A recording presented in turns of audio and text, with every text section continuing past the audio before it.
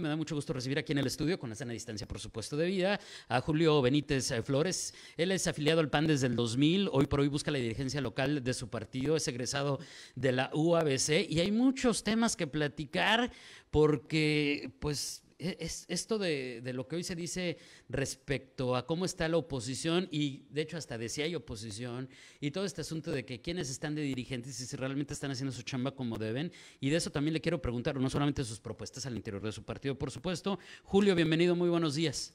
¿Qué tal David? Muchas gracias por la invitación. Eh, gusto de compartir contigo y con tu auditorio. Oye, muchas cosas que preguntarte como anticipé, pero vamos por el principio, por la base. Tú eres afiliado al PAN desde el 2000 y hoy en el 2022 tienes aspiraciones a dirigir tu partido en lo local. ¿Por qué? ¿Qué te lleva a decir, oye, yo quiero, digo, esto obviamente se lo pregunto en el contexto de que va a haber internas en el Blanquiazul, creo que son, son Julio en septiembre. 25 de septiembre, así es. Ah, el día de mi cumpleaños, no se me va a olvidar. Ah, por si 25 de septiembre, mi cumpleaños y también las internas del PAN. Este, ¿Qué te lleva a decir, oye, pues yo quiero dirigir mi partido? A ver, cuéntanos. Eh, David, pues mira, primero que nada, el por qué se acerca uno a un partido, ¿no? ¿Por qué llego al Partido Acción Nacional? Muchos se han de preguntar. Llego a los 18 años. Normalmente a los 18 años pocos jóvenes estamos pensando en participar en política. De hecho, uno de los sectores de la población que menos está interesado en la participación política son los jóvenes y es precisamente esa edad.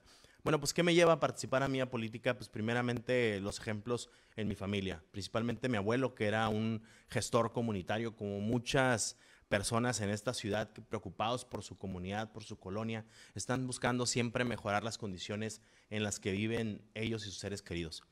Precisamente viendo ese ejemplo y cómo el trabajo que él realizaba cambiaba la vida de las personas y las condiciones de vida de esas, de esas familias, es que me interesó por la política ya a los 18 años, cuando en la preparatoria empieza uno a analizar y a, aprender de temas de derechos, de economía, de problemas eh, sociales y políticos.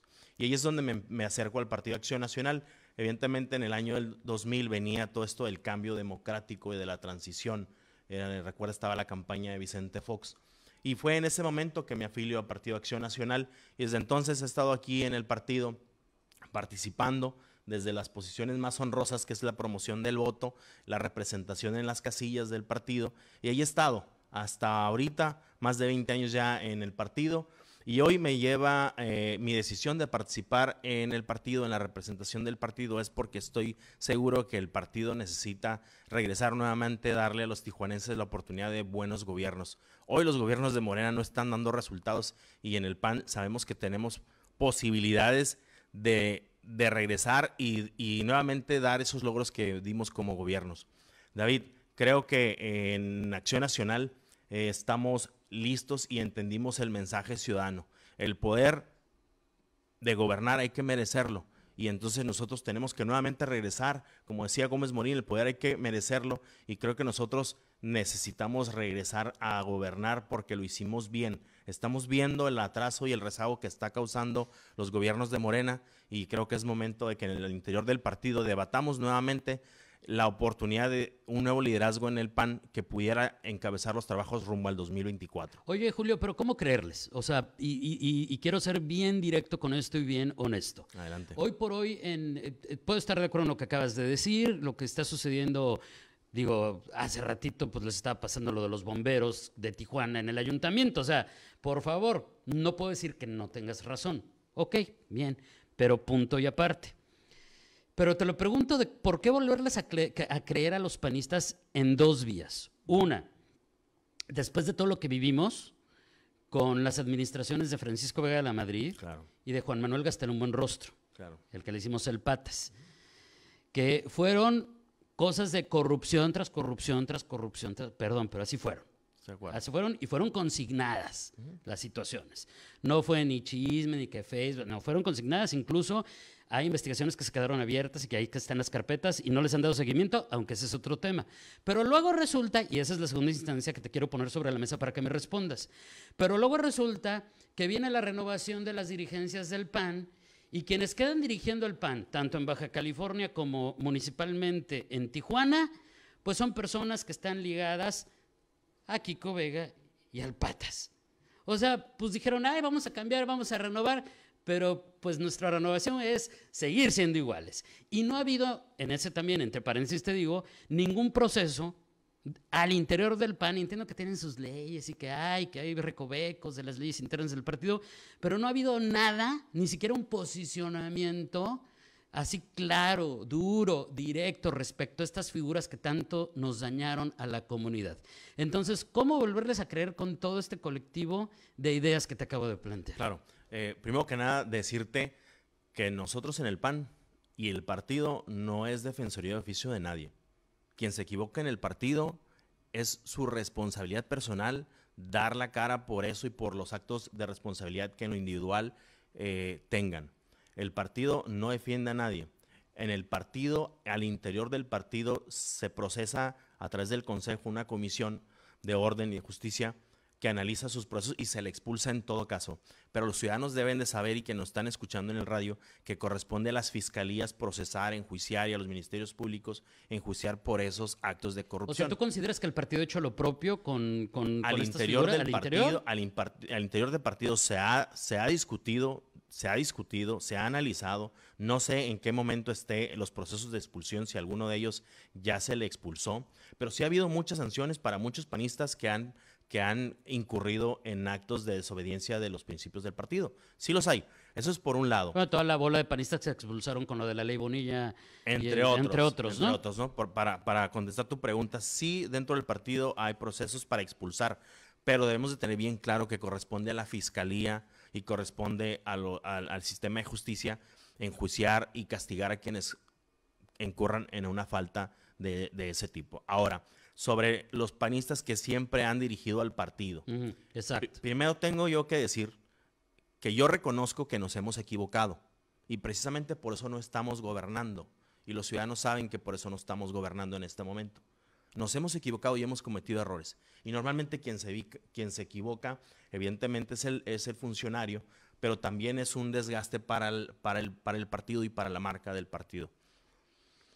Pero eh, tengo que decir que a pesar de los errores que hemos tenido, y eso tenemos que analizarlo, David, que a pesar de los errores que hemos tenido en las diferentes administraciones, también tenemos algunas cosas buenas que resaltar de esas administraciones. Y digo a pesar de los errores que hemos cometido. Por ejemplo, ahorita en Tijuana, los problemas, los graves problemas de movilidad que tenemos en la ciudad, y tú comentabas, eh, y lo vemos en los medios sobre el tema de la glorieta que está en Santa Fe. ¿Cómo es posible que se tenga que hacer una consulta para saber si quitas o no una glorieta.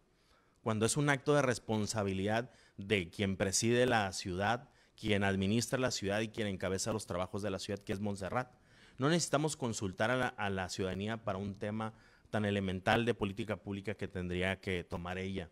Creo que es importante consultar a los ciudadanos en otros temas que a lo mejor podrían ser más controversiales, pero yo creo que lo que los ciudadanos de Santa Fe hoy necesitan soluciones y respuestas. Osuna Millán nunca consultó a los ciudadanos para ser un distribuidor vial ahí en la ermita, que hoy está desahogando eficientemente el tráfico. Eh, Juan Manuel Gastelum nunca hizo una consulta para crear un programa integral de movilidad urbana sustentable, David, que allí está, es un manual a 20 años con proyección responsable, a 20 años para que la ciudad y quienes llegan a gobernar después de él sepan qué hacer en temas de movilidad. Y ese, y ese programa integral de movilidad urbana sustentable no es una ocurrencia de él, es un trabajo serio, responsable, con visión a futuro, como siempre lo han hecho los gobiernos del PAN, en el cual participó el Consejo de Desarrollo de Tijuana, en el cual participó también el gobierno del Estado, con especialistas, y ahí está.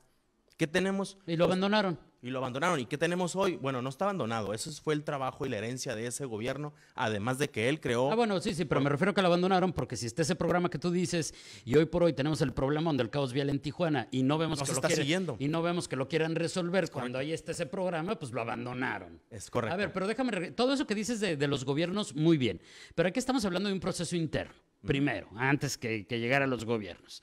Y te estaba preguntando, pues evidentemente porque querías dirigir a tu partido. quiero pero entonces te voy a insistir en lo que te pregunté hace rato, pero desde otro punto de vista. ¿Cómo evalúas entonces, pues, las dirigencias de Luis Rodolfo Enríquez, el Fito, y de Mario Zuna, eh, municipal y estatal respectivamente?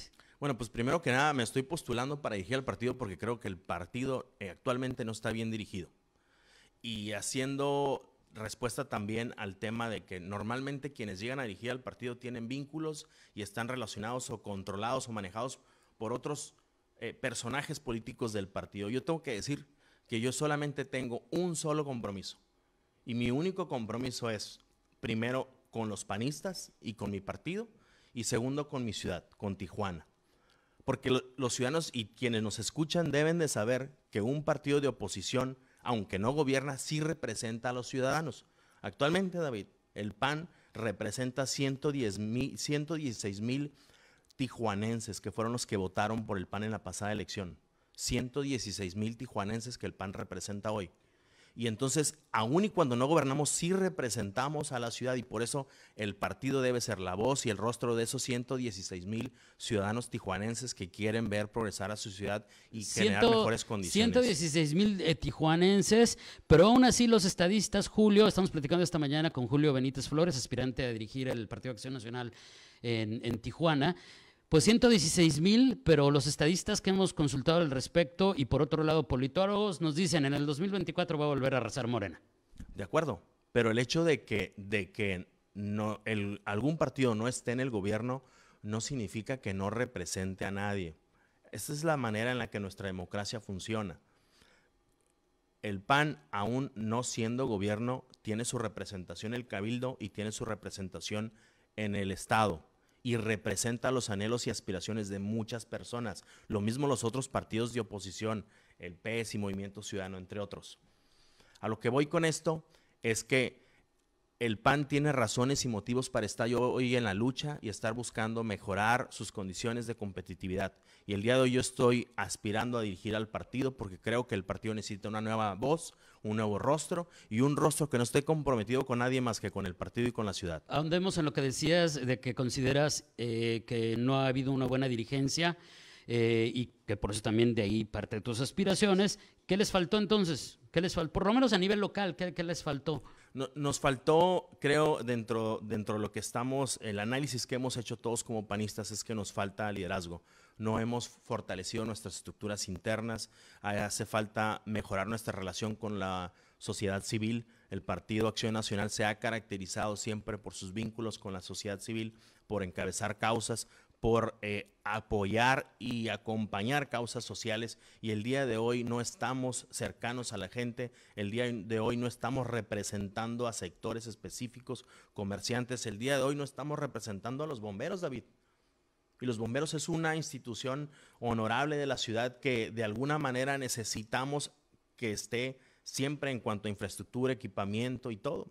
En la administración pasada yo estoy seguro que no pasó esto. En la administración de Juan Manuel Gastelum estoy seguro que no pasó esto, que hoy está pasando con ah, los gobiernos de Morena. Pero pasaron muchas otras cosas, déjame, te cuento, Julio. Te, pero con él. Eh, ¿Sabes cuántos aspirantes hay, o sea, cuántos competidores tienes en, para la dirigencia local? Sí, sí, sí, David. Actualmente ah, había cinco. Había muchos, ¿no? Había cinco eh, aspirantes y tengo que decirte que el día de hoy y todos quienes nos escuchan deben de saber que el proyecto que nosotros encabezamos se está fortaleciendo cada día y el día de hoy el exdiputado urbano eh, Chávez eh, se ha sumado a este proyecto que juntos y, junto con otros panistas estamos, estamos este, fortaleciendo. Entonces había cinco contendientes, hoy solamente habemos cuatro.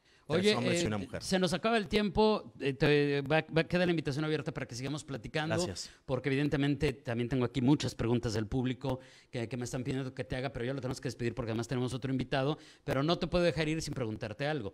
Eh, dos cosas súper rápido. Un minuto para cada pregunta nada más, ¿eh? Para más bien, para cada respuesta de las preguntas que te voy a hacer. Una.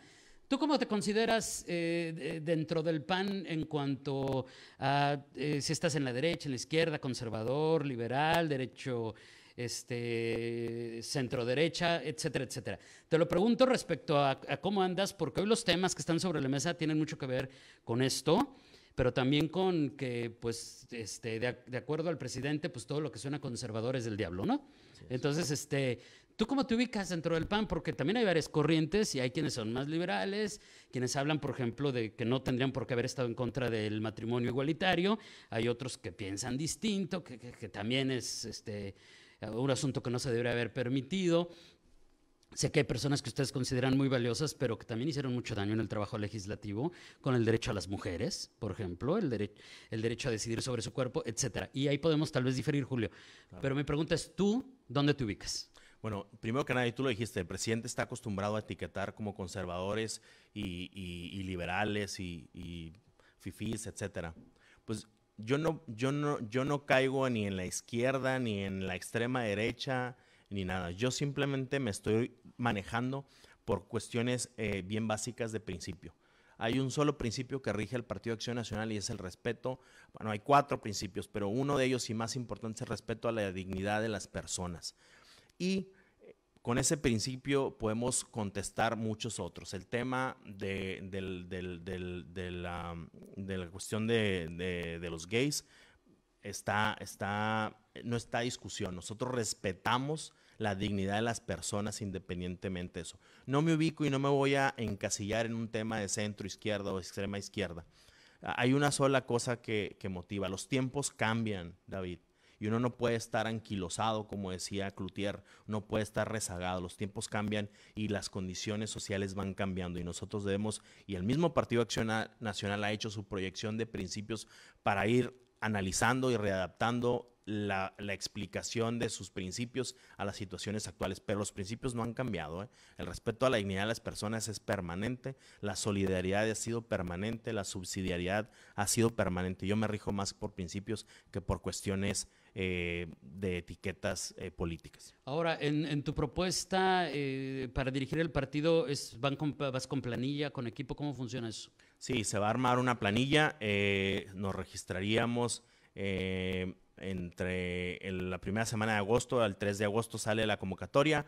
Todo prácticamente el mes de agosto es entre registros, convocatoria y recaudación de firmas y nos vamos a registrar con ¿Y que en tu planilla va Miguel Loza? Miguel no está en mi planilla. Eh, así, en el, así como mencionaste, en el partido hay muchos panistas y un, un, un, panista que aspira a dirigir al PAN lo va a dirigir con todos los panistas registrados en el padrón acompañándose de todos los panistas que están ahí. Y lo mismo me he sentado con algunos panistas que ya se fueron del partido, como otros como otros que están en el partido y todos ellos me están acompañando actualmente. Con todos me tengo que acercar. Que también después, platicaremos porque hay quienes ya no están en el partido, otros que regresaron, unos que dicen pero realmente no están. O sea, hay, hay un poco de todo. Y te preguntaba Miguel Osa por la herencia que dejó en el INJU, porque también tiene acusaciones por ahí de de, hostigamiento, entre otras cosas acumuladas. Entonces, pues no era, no era bonito hablar de que en tu planilla iba alguien que finalmente se relaciona con el tema con el que arrancamos esta plática, que bueno, y vas a cambiar y quieres proponer para seguir siendo lo mismo, y patista y demás, pues este, por eso también te lo preguntaba. Gracias, Jorge, eh, Jorge Julio.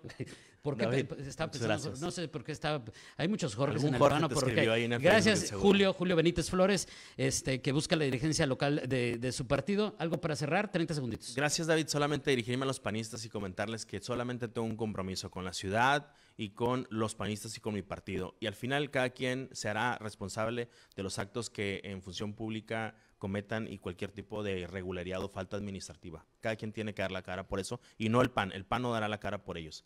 Seguiremos platicando. Gracias, Julio. Julio Benítez Flores.